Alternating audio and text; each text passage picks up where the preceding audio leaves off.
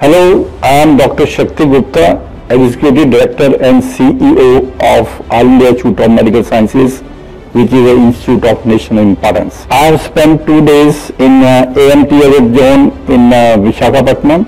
This is one of the versatile facility. It is an excellent opportunity for our young researchers, for our innovators and technologists to uh, do the research and they, it is an excellent platform also for uh, starting any startup.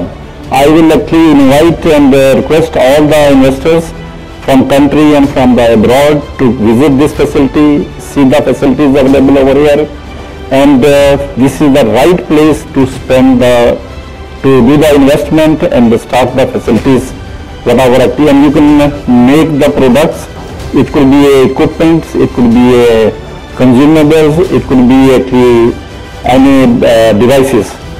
So I think uh, you should come over here, first visit the facility, then actually decide what you want to do over here actually. And the opportunities are infinite.